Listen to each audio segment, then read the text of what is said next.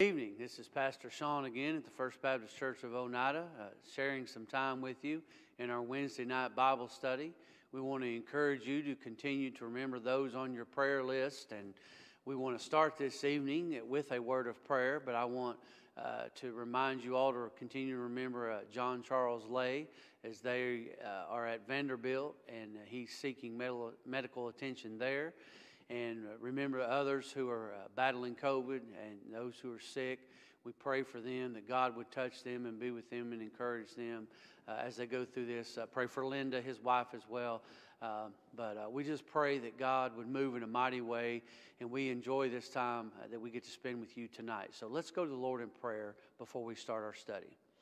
Dear Lord, we thank you for this day and for your many blessings. And Lord, we pause this evening to think about uh, what all you've done for us and what all we've been through, Lord, and we continue to look to you each and every day for our sustenance, Lord. And we thank you for being a, a creator, uh, our redeemer, our sustainer, Lord, and, and throughout all that goes on in this life, uh, that you have given us the promise that you will never leave us nor forsake us.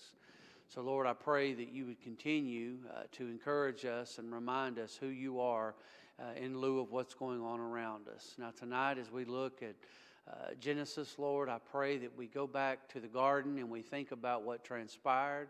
But we also, Lord, don't just stay there, but we look at the Old Testament and the New Testament and we understand uh, that the freedoms that we have in this world, especially freedom from sin, Lord, is only because of the finished work of Jesus Christ. So help us to appreciate our religious freedom and treasure it, Lord. And we thank you for all that you bless us with in Jesus' name. Amen. Well, on Wednesday nights, if you've been joining us, I have been reading a little bit from a document and then uh, piggybacking off of that by going to Scripture. But this is called the Baptist Faith and Message 2000. This is a creed, this is a solid theological statement, uh, I believe, that gives us some guidance when it comes to our Baptist faith. Now, let me remind you uh, that Baptists are very diverse, and not all Baptists agree on everything. But uh, maybe when you're looking for a pastor or a pastor search committee uh, is uh, formed and they're looking for a pastor, they would ask the candidate, Do you hold to the Baptist Faith and Message 2000? And that's just uh, common ground and a great, I think, uh, sufficient doctrinal uh, statement, if you will, or creed, if you will, to give you an idea about what we believe in the Baptist faith. But let me remind you, like I said just a few seconds ago, Baptists are a very diverse bunch.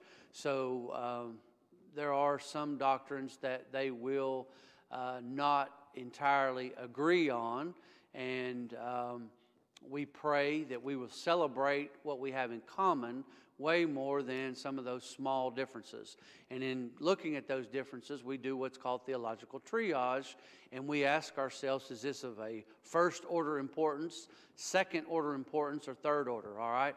And we need not argue over things like third order issues. And I will give you an example. I've told you this in the past eschatology, the the, uh, th- the study of end times. Now, some people will go to war over your end time belief, and if you don't believe like them, they feel like they can have no fellowship with you. But I do not believe that. I just don't think that eschatology ought to be something that you fight uh, tooth and nail over, all right?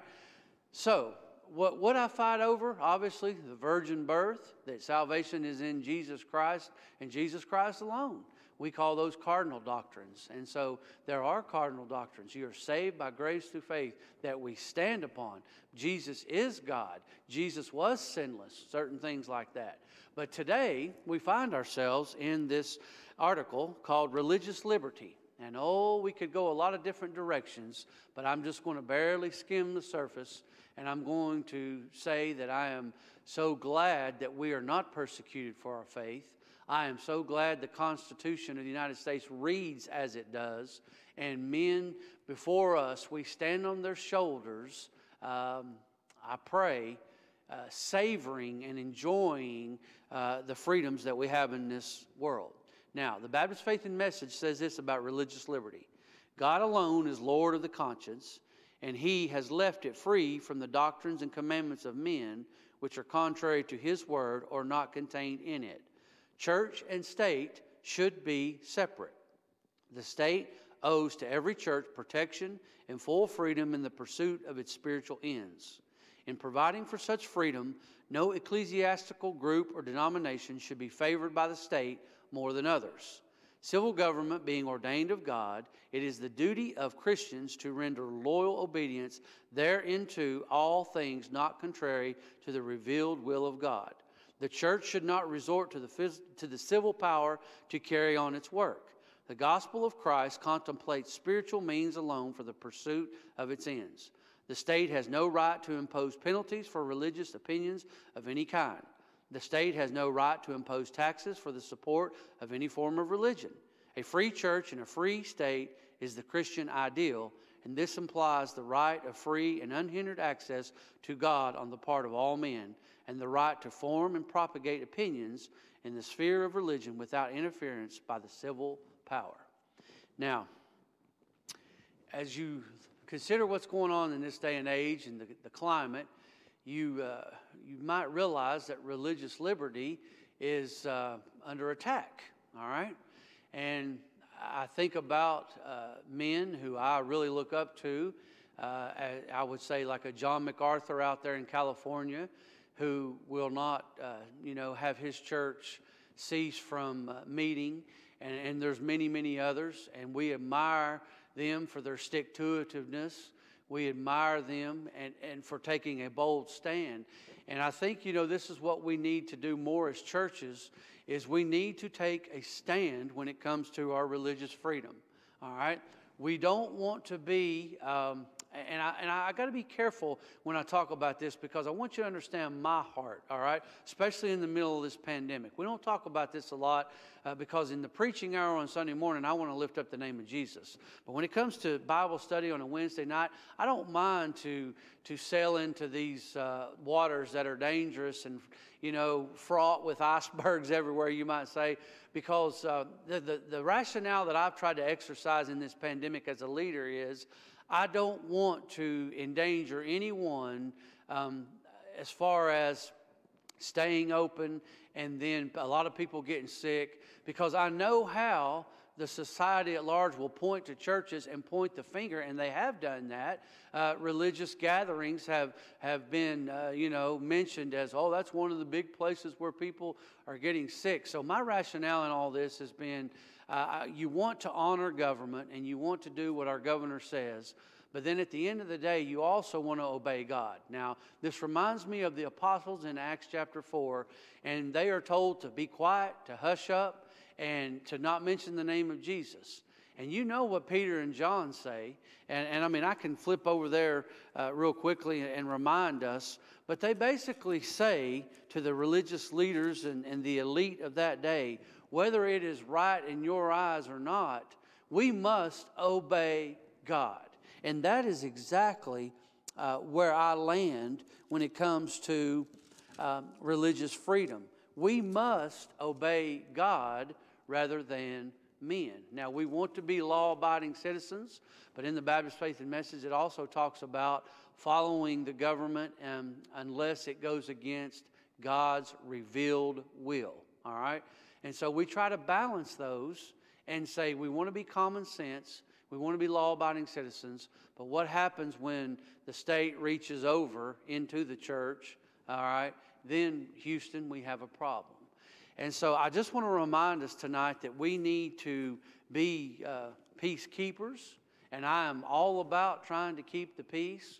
But church, I want you to understand there's when there's a time and place when you stop keeping the peace and you stand on your convictions. And that's what churches need to do in this day and age is keep the peace all the while not teetering back and forth, not uh, diluting the message, uh, being very conscious of erosion in Christianity, and saying, you know what, we are going to stand on the Word of God and we're going to believe that God is going to take care of us. So, along with the message that I preached last Sunday from First, uh, 1 Timothy chapter 2, I reminded us that we do need to pray for our president, pray for all leaders, those in authority.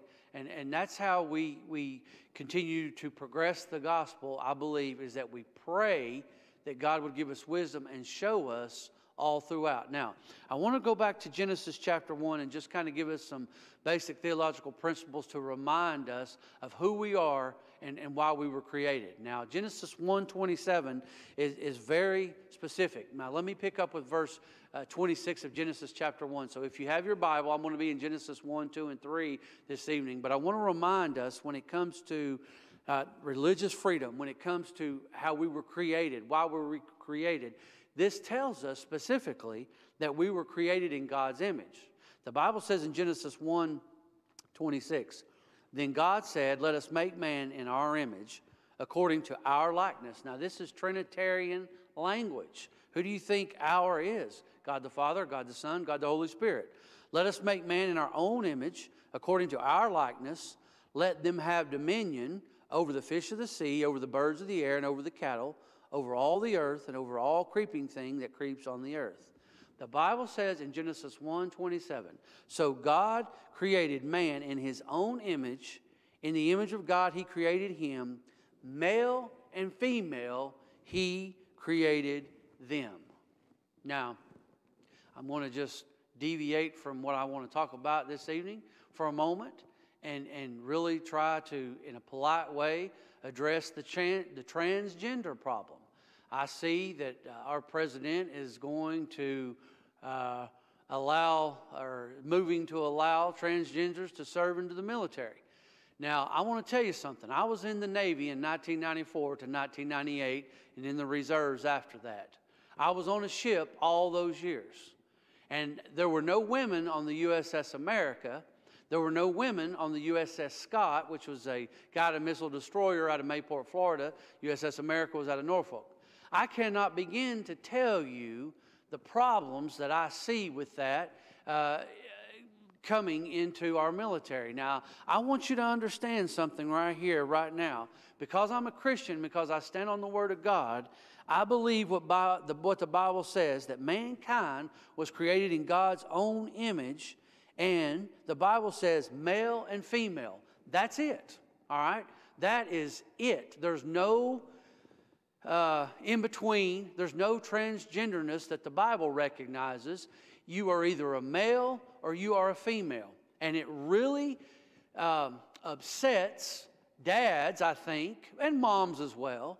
But to think about people who would try to abuse the fact of their identity to go into a restroom where, uh, say, my daughter goes in and you want to identify as a, as a female and you're really a male, in order so that you can, uh, you know, lust or, or, or, or, try to get a peep on something. That my, that, my friends, is just sick, all right? That is sick. And we live in a, a very sin plagued world, and I believe that people need to start standing up for our convictions, and it just shows you how our leadership is, is uh, it, it does not align with the Word of God all right? If we are not pilgrims in an unholy land, I don't know what we are, all right? So, this whole battle about transgenderness blows my mind, boils my blood, and I try to remain calm as a preacher, but it, the Bible is my basic set of beliefs, and I want you to understand this is God's word here, and God says He created male and female. You're either one or you're the other, all right? And so, uh, I just pray for that situation. I, I pray that, uh, you know, we understand something that, uh, you know, I want you to understand my heart, uh, along with sex, uh, homosexuality being a sin and being wrong. I will tell you tonight that I would welcome someone who was a homosexual to our church, and they would be more than welcome to come and sit and listen to the gospel of Jesus Christ. They would be uh, allowed to participate in activities. They would not allow, they would not be allowed to become a church member, all right? Because an under shepherd has to protect the flock. So you're not going to become a church member and you're not going to be a leader in our church uh, when you project that lifestyle. However, I'm not going to hate you. I'm not going to ostracize you. All right? We're all made in God's image. And, and so, what I want us to understand is this isn't hate speech. I don't hate anybody.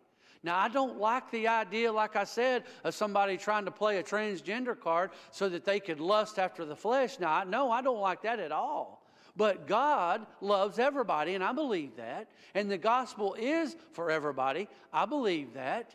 But I do believe sin has tainted this world, and I believe people try to take advantage of that. And for that, I'm not going to stand for.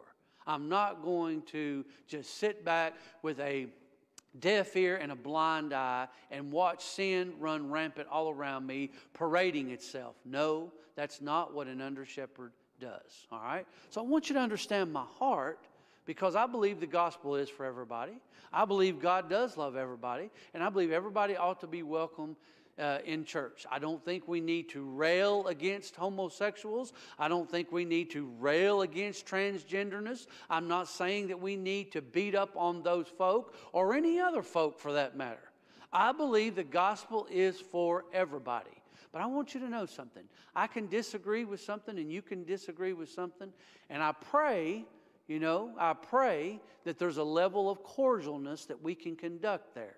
But I'm going to tell you on certain things like that, we've got to take a stand on what the Bible says. It's not what the pastor says, all right, as far as that goes, or believes, but it's what the Word of God says. And if we are Christians and we believe this Word, then we're going to stand on the Word, all right? Let me move on because I don't want to wax too eloquent on those discussions. But I just know some things that are going on in the world today that are troubling, all right? So, as the Bible tells us, before the fall, and I want you to remember this, as God creates light in the day and the night, and animals and humans themselves, the Bible says it was good. Okay? It was good. But then, as we progress and we remember what happened with Adam and Eve in the garden, we understand that God has given man free will.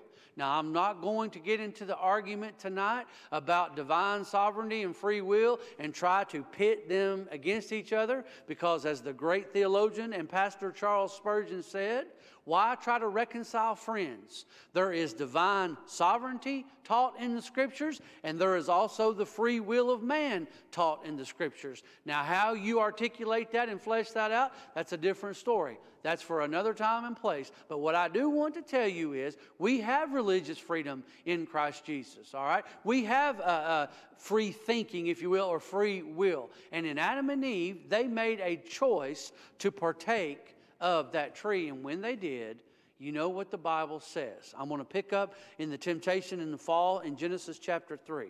The Bible says in Genesis chapter 3 the serpent was more cunning than any beast of the field which the Lord God had made.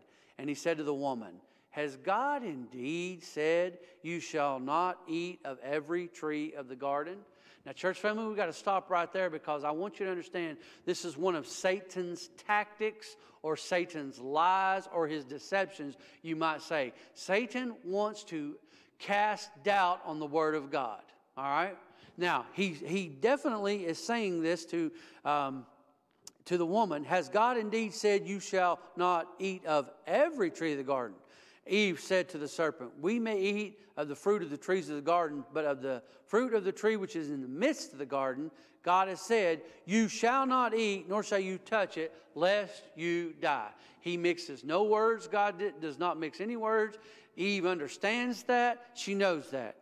Now, watch how Satan twists and turns and deceives. Then the serpent said to the woman, You will not surely die. For God knows that in the day you eat of it, your eyes will be open and you will be like God, knowing good and evil. In other words, Satan is saying God doesn't have your best interest in mind because he knows that once you partake of this, you taste of this, then you will, uh, your eyes will be open and you'll be like God. And you know that's Satan's biggest downfall was he wanted to be God. All right? He had a terrible, terrible pride issue. And as you think about this tonight, he's telling her, God, he, he, you'll be like him. You'll know good and evil. So evidently, this hit Eve in such a way that she was so tempted that when she saw the tree that was good for food, that it was pleasant to the eyes, and a tree desirable to make one wise, she took of its fruit and ate. She also gave to her husband with her, and he ate. Then, now listen, Adam is with her all this time, all right? So Adam, you know, he play, tries to play the blame game later on, but he was right there with Eve, and he knows he wasn't supposed to partake. So when the woman saw the tree was good for food, that it was pleasant to the eyes, and a tree desirable to make one wise, she took of its fruit and ate. She also gave it to her husband with her, and he ate. Then the both of their eyes were opened, and they knew that they were naked, and they sewed fig leaves together and made themselves covering. And they heard the sound of the Lord God walking in the garden in the cool of the day. And Adam and his wife hid themselves from the presence of the Lord God among the trees of the garden. Then the Lord God, called to Adam and said to him, Where are you? So he said, I heard your voice in the garden, and I was afraid because I was naked, and I hid myself. Hmm. And he said, Who told you that you were naked? Have you eaten from the tree of which I commanded that you should not eat? Then the man said, The woman you have give to be with me, she gave me of the tree, and I ate. Here we go. Adam's trying to play the blame game. Adam was with Eve the whole time, and he knew better. But now he turns to blame her. And the Lord God said to the woman, What is this you have done? The woman, she blames it on the snake or the serpent. The woman said, The serpent deceived me, and I ate. And now, here, what we have is called the proto evangelium. All right? So, if you are wondering, is Christ in the Old Testament? He absolutely is in the Old Testament. From Genesis to Revelation, the blood-stained pages of Scripture speak out a message that says, Jesus saves, Jesus saves. And here the Bible tells us, because Eve have done this, judgment's coming. You are cursed more than all cattle, now, this is what is said to the serpent. The Lord said to the serpent, Because you have done this, you are cursed more than all cattle and more than every beast of the field. On your belly you shall go, and you shall eat dust all the days of your life. And I will put enmity between you and the woman, and between your seed and her seed. He shall bruise your head, and you shall bruise his heel. Now, I want you to see something here in verses uh, beginning of verse 14.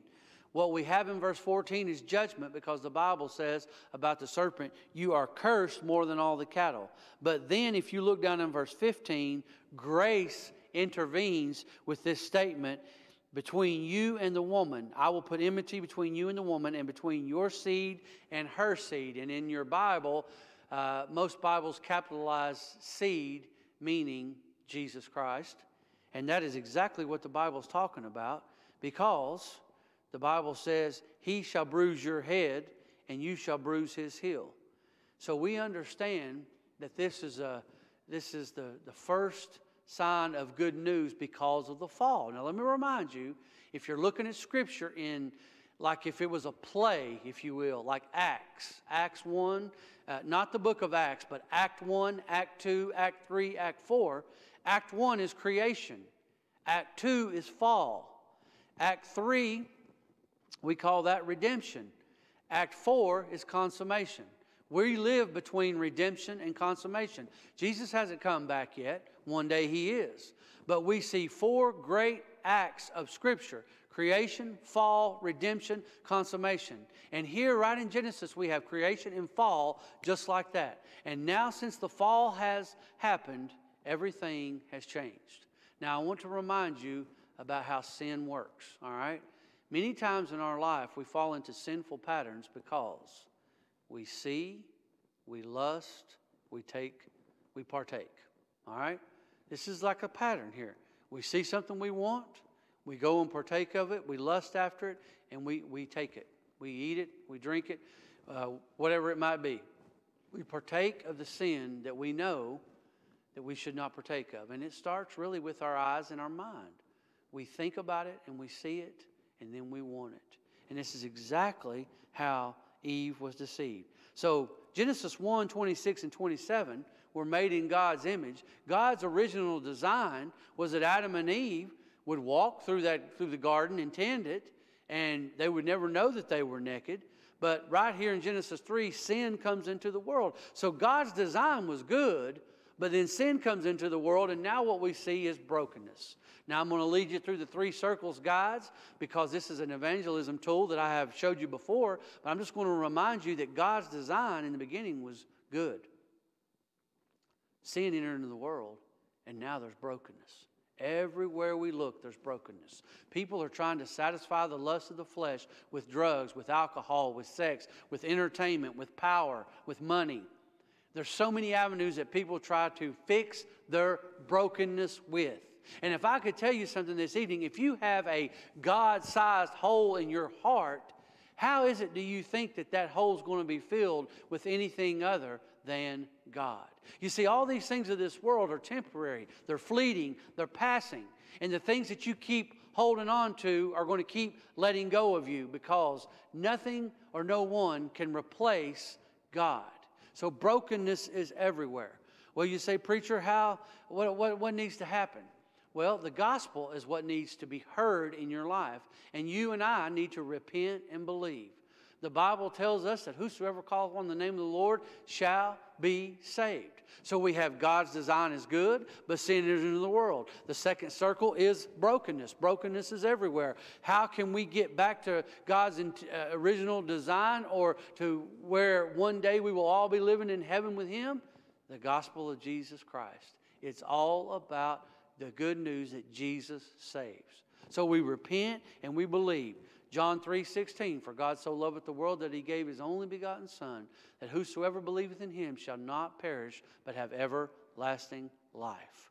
Romans 10 13, whosoever calls upon the name of the Lord shall be saved. Romans 5, I could name verse after verse, but we need to understand that God's original design, everything was good, everything was right.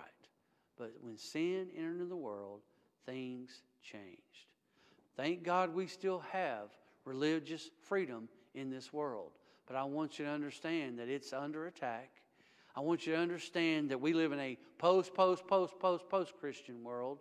And I believe in the upcoming days, listen to me closely tonight, that the message of Christianity is going to become more and more abrasive to the world that we live in. Now, you know, the Lord could be doing some pruning and some weeding out because tonight you either believe in Jesus Christ or you don't believe.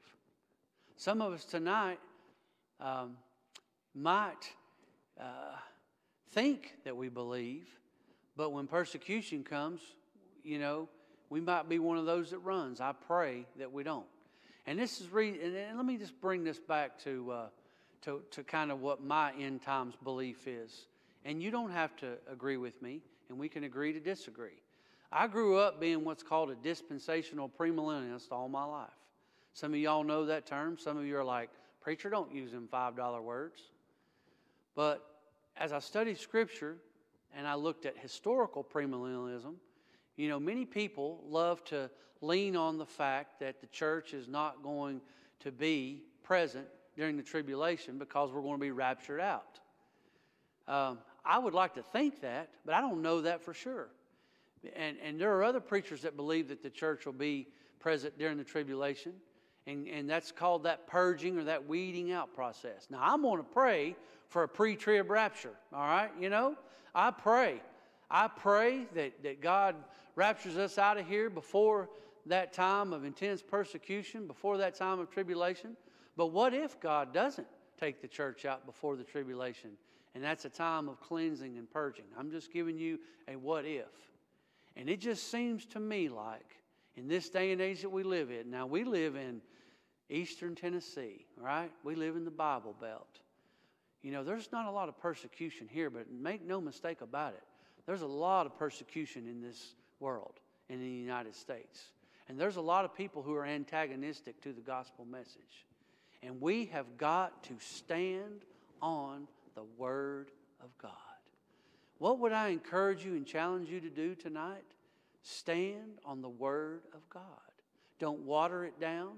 Appreciate, grasp, hold on to your religious freedom, all the while seeking to keep peace, see, seeking to live Uh, peacefully and honorably and quietly among men, as 1 Timothy 2 talks about, so that we can live quiet lives and peaceful lives. But at the same time, we can only be pushed so far.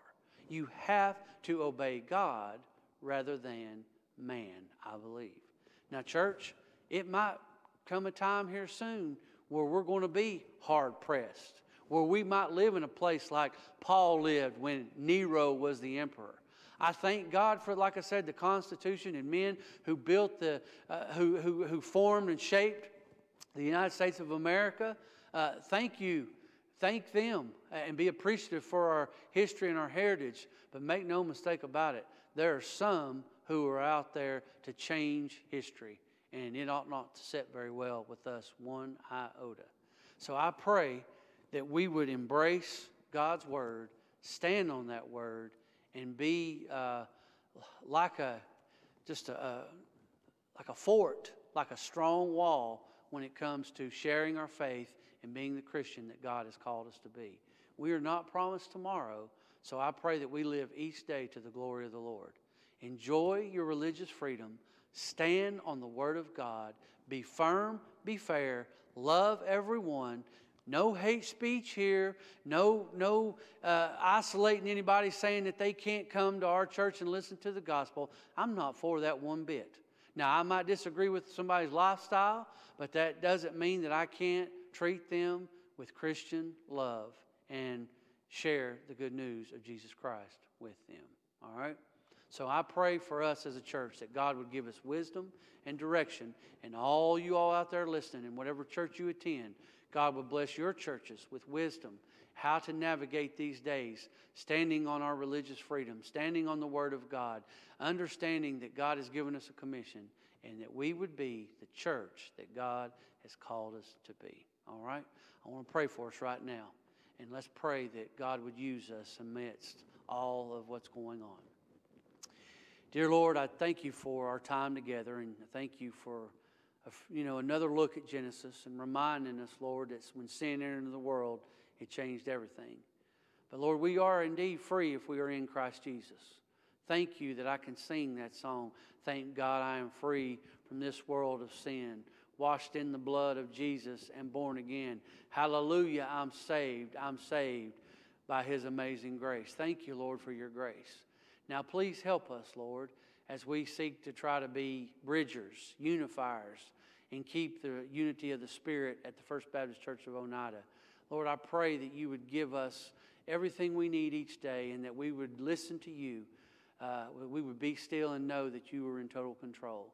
Lord, help people to understand that, that, I, that as an under shepherd of this church, I'm not going to preach hateful messages. I don't want to hate anybody, but I am going to stand on the word. Because if I don't stand on the word, then I need to give up my position as pastor. The word is my power, the word is my plan, the word is everything to me. So, God, I pray that each time I stand behind this desk, I rightly divide the word of truth, that I speak the truth in love, and that I help people see Jesus. Thank you, Jesus, for loving us. Thank you for watching over us. God, be with us in these upcoming days and help us to glorify you. In Jesus' name, amen. I pray that God blesses you with a great week. This is Wednesday, hump day.